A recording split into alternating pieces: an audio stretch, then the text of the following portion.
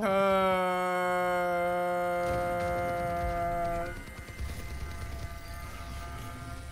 My God. Duh. If I die again, bro, I'm seven deaths in.